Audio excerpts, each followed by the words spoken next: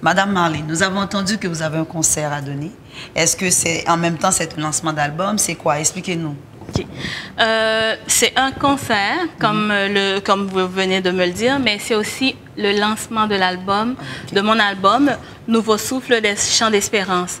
Ça va être le 18 mars, à compter de 19h, à l'église Baptiste Smyrne, au 9603 boulevard Maurice Duplessis. On vous attend en grand nombre.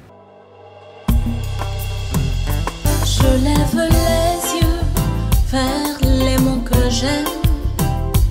D'où peut me venir ici le secours?